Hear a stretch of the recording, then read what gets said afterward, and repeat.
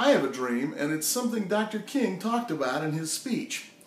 My dream is that we all spend a little bit more time on the content of our character who we are, how we live, how we treat others. That's all up to each of us.